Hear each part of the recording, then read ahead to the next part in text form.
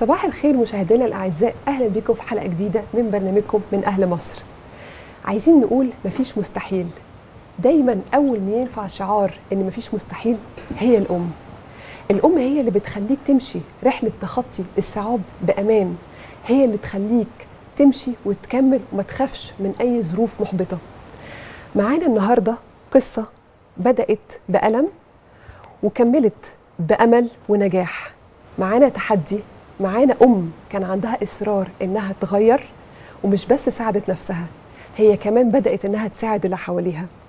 معانا النهارده أستاذة إيمان التوبجي خبيرة التمكين والتشافي الذاتي وابنها أستاذ جاسر عماد الدين. أهلا وسهلا منورينا. أهلا. بك. أهلا. أخباركم إيه؟ الحمد لله. كل سنة وأنتم بألف خير يا رب.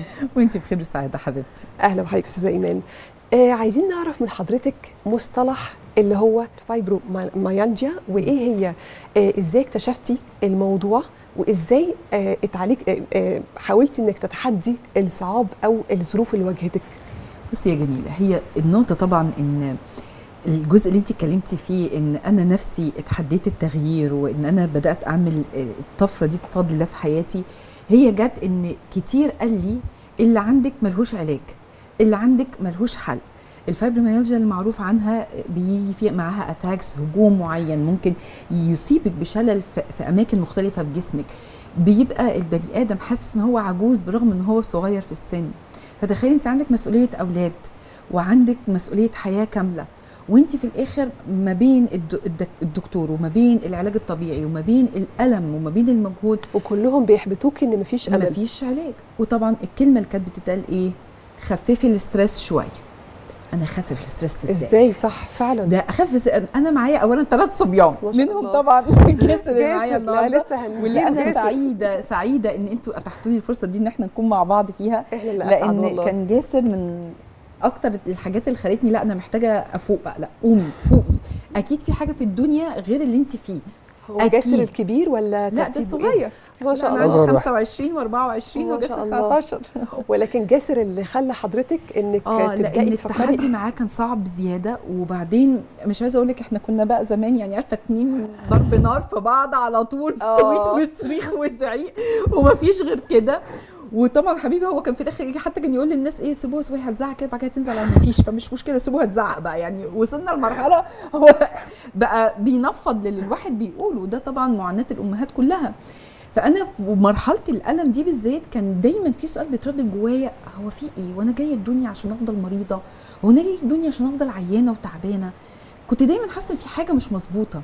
خاصة إن أنا كان عندي الأعراض بيبقى فيها أجزاء severe شوية اللي أنا اكتشفت فيما بعد ليه كانت severe قوي كده ليه حاده بالمنظر ده آه لأن أنا كمان اكتشفت على كبر إن أنا ADHD اللي الناس دلوقتي يعني عاملين عليه مشكلة كبيرة جدا هو جدا هو على تحدي في. التشتت آه، مش عايزة أقول مرض هو تحدي أكتر في تشتت الانتباه وفرط الحركة بالظبط آه. لأن طبعا يعني وإن شاء الله هبقى أتكلم معاكي شوية بعد شوية كده في موضوع. المنظور العلمي بتاعه من منظور علم meta health اللي أنا دارساه آه. لكن تخيلي انت بقى أنا آسفة أم- بدون قاطع كلام آه. حضرتك. ال meta health إيه؟ عشان لو آه، جمهورنا آه، تعرفي لنا أكتر إيه هو هو المصطلح؟ علم تشخيص الضغوط اللي بتصيب الجسد والنفس.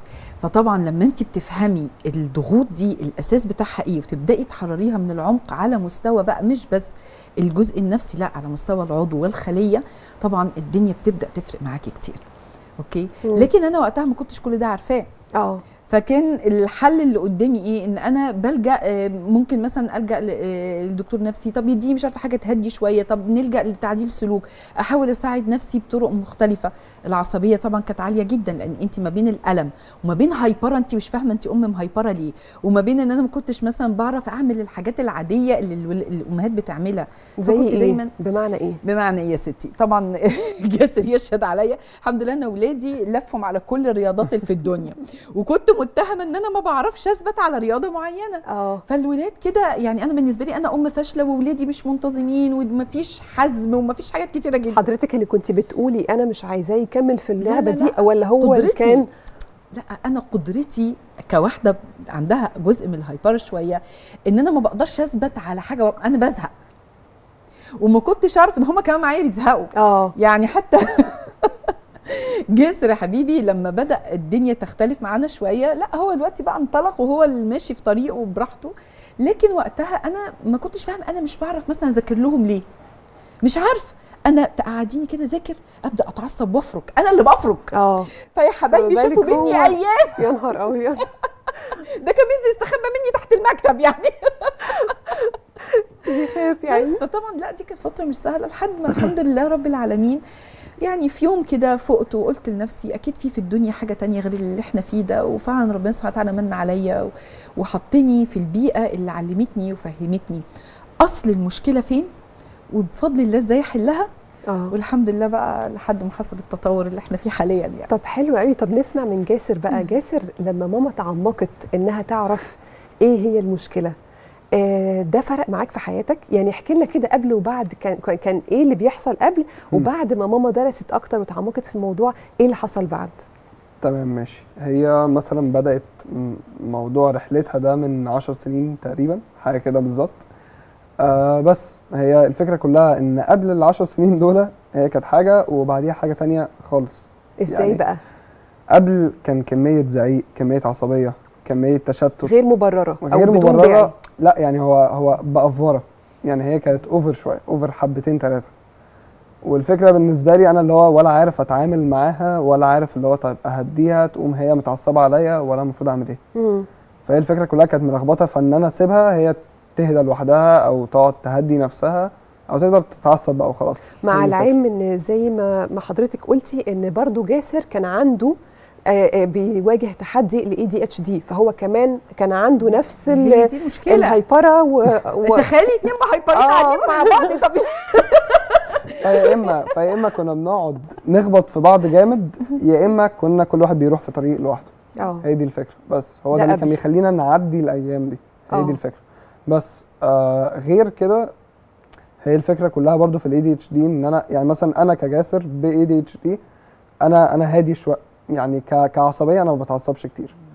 بس بس بتخنق أو بزهق. زي. ما ماما بتقول مثلا في الرياضيات في, ال- في الرياضات يعني عامة أنا بتمرن حاجات كتيرة يعني منهم الباركور منهم كونغ فو كنت بلعب برضو حاجات كتير قوي كآلات برضو بلعب electric guitar فالفكرة كلها إن أنا كل شوية بتنقل من رياضة لرياضة أو من حاجة لحاجة في حياتي عامة. حتى في الجامعة مثلا بغير majors كل شوية يعني هي دي الفكرة كلها إن أنا بزهق كتير. هي دي. الفكرة. بس. ماما بعد ما شاء الله الحمد لله بعد العشر سنين بقى اللي هي قعدتهم لا الفرق الفرق بأمانة كان واضح يعني اللي هو إن هي بقت لوحدها كده الاقيها مثلا قاعدة في الأوضة عمالة تكلم نفسها وتقول اهدي يا إيمان اهدي يا إيمان. فأنا مش فاهم هي بتعمل في إيه. أول الطريق. بتشتغلي على نفسك. ف- لا، في أول الطريق- في خالص. الطريق لا. ودي حاجة حلوة ودي حاجة حلوة على فكرة الواحد اتعلمت يوجا آه. وإزاي أتنفس عشان نهدي العصبية ويعني عشان برضو اللي كان الفايبروميالجيا عندي طبعا ال attacks كانت بتبقى شديدة. آه طبعا. والدكتور طلب مني قال لي انت لو ما عرفتيش تهدي أنا ممكن ما أعرفش حتى أفك العضلات بعد كده. يعني مش عارفة أعمل لك إيه. للدرجة دي؟ آه آه الحقيقة يعني الحمد لله. فوقتها بقى كانت البداية خالص البسيطة اللي أنا لسه ما اتعلمتش أي حاجة بس إيه اتعلمت شوية حركات يوجا إزاي أتنفس إزاي أعمل فكنت آخد نفس. واقول اهدي يا حتى وأنا بقول اهدي يا بعصبية برضو. فهو حتى جسا كنت بتقول إيه في الأول؟ لا لا لا. ماما ماما ماما ساعتها فعلا الفكرة إن البيت كله متعود عليها ك هي حد عصبي و. آه. بالظبط. فمرة واحدة لقيناها بتكلم نفسها فالموضوع مش يطمن خالص لأي بني ده كده آدم في البيت. بتوسع بقى. فبالظبط بس. ف...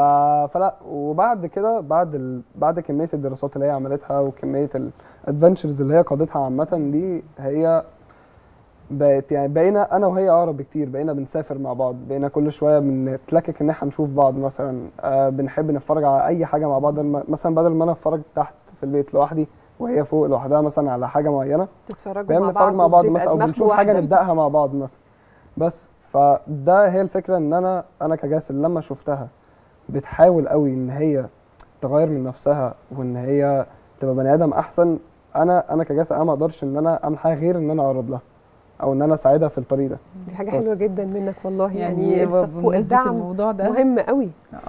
يعني أنا يكفي إن لما هو صدق في الرحلة اللي أنا مشيتها هو اللي بيشجع أصحابه يجوا يحضروا الإيفنتات اللي بعملها يسمعوا المحاضرات اللي بعملها هم نفسهم لما شافوا التغيير اللي حصل مع جاسر لأن هو برضو خلونا برضو نعرف حاجة مهمة يا جماعة إن ال ADHD الأساس بتاعه صدمات خوف على البقاء.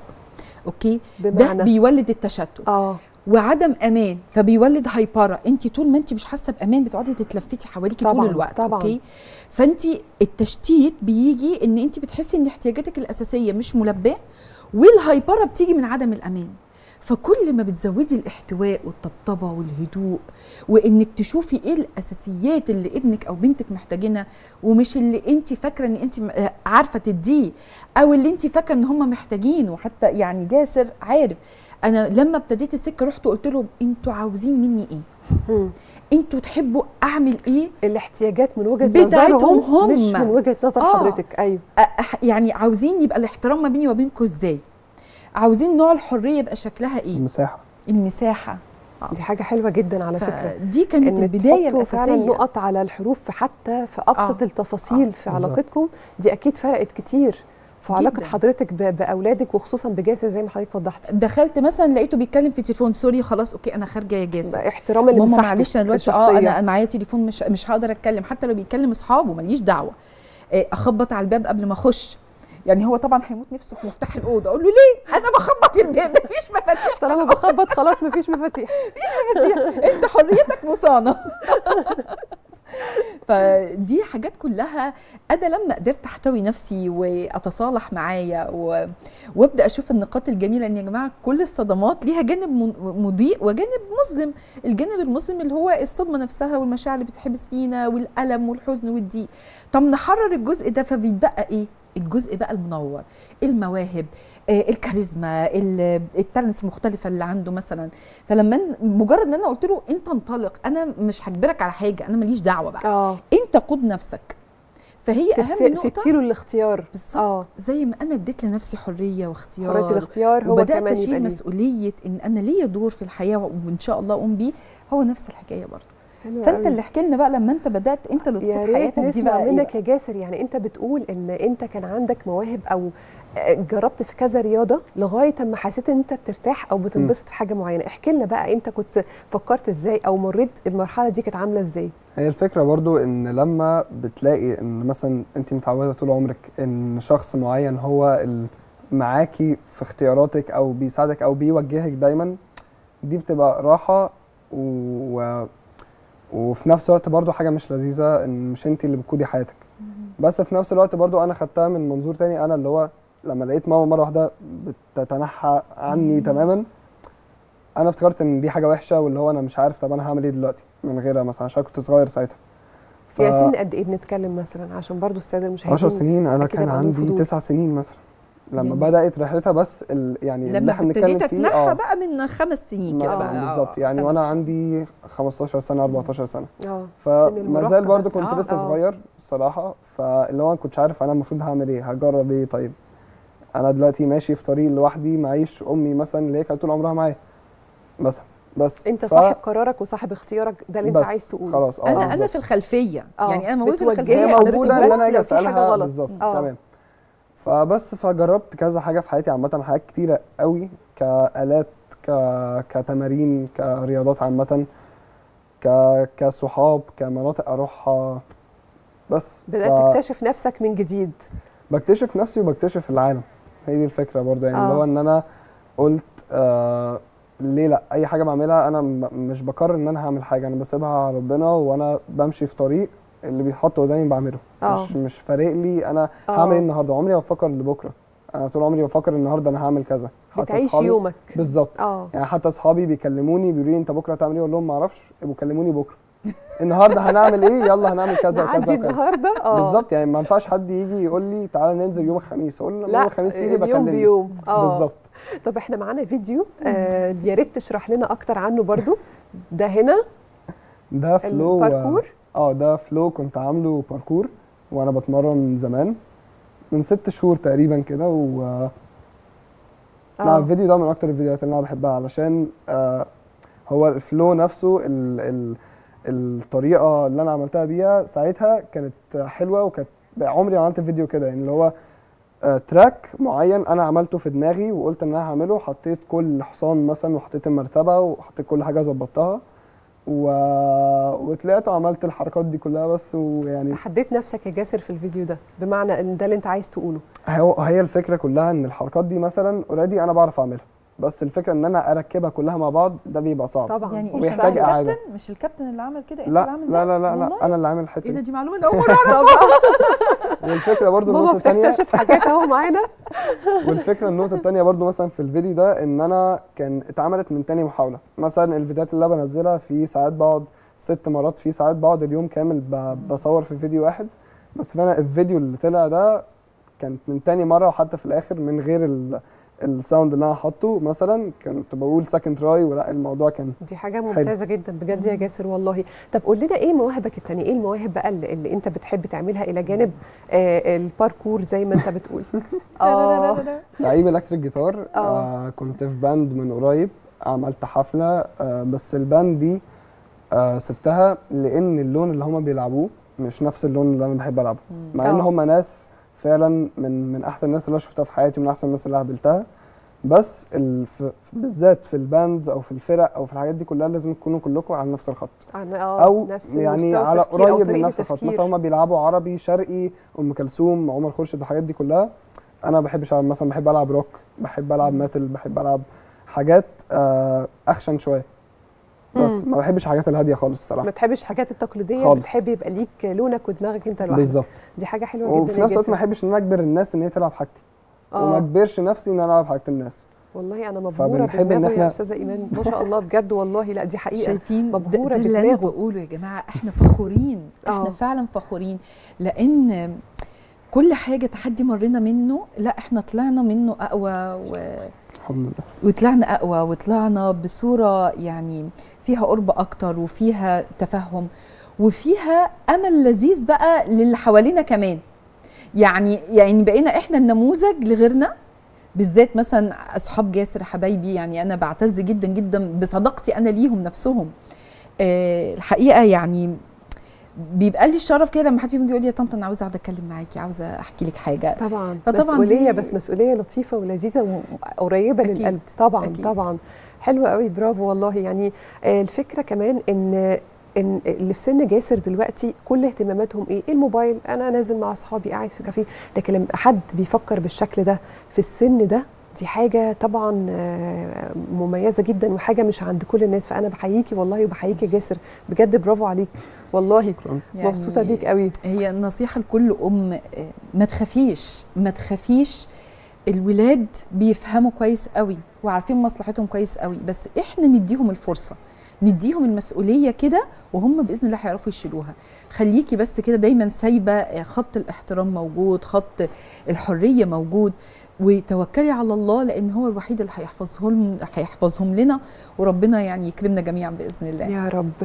طيب أستاذة إيمان إحنا عرفنا حضرتك انضميتي آه، لمبادرة 100 مليون صحة نفسية. آه. طبعا من اسمها آه، آه، إن هي بتهتم بالصحة النفسية. ممكن تحكي لنا عنها أكتر وعن الفعاليات بتاعتها؟ الحقيقة من أهم الفعاليات اللي إحنا حضرناها واللي كان جاسر معايا فيها واللي التعليق برضو جالي إن جاسر كان فخور بيا وأنا جوه المنتدى وأنا بقول الكلمة بتاعتي واقف بيصورني.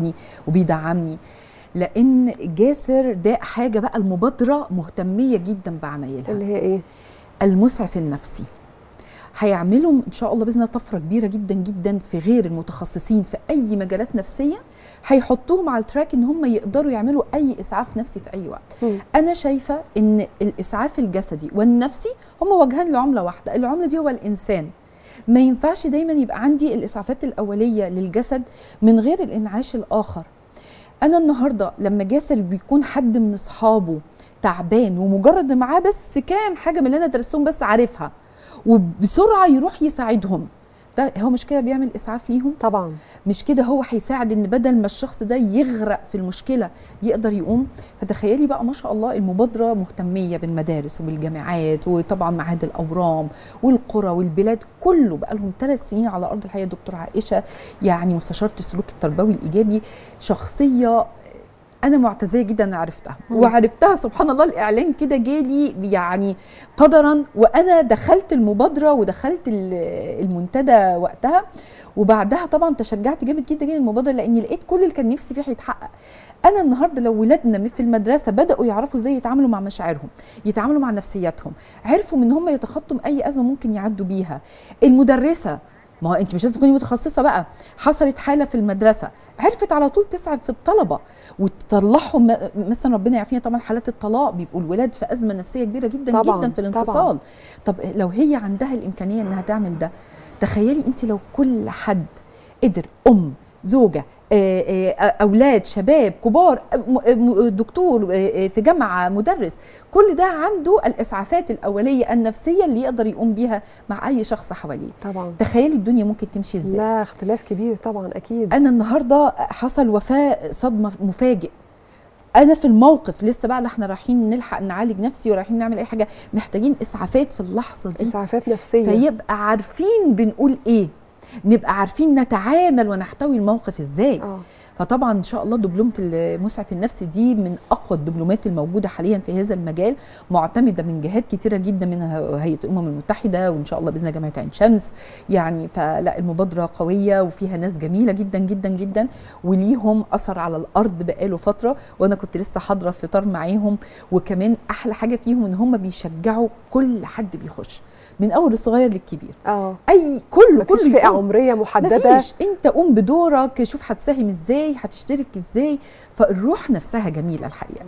طب أستاذة إيمان يا ريت عايزين حضرتك تقولي لنا نصيحة لكل أم آه، بتمر بهذا التحدي.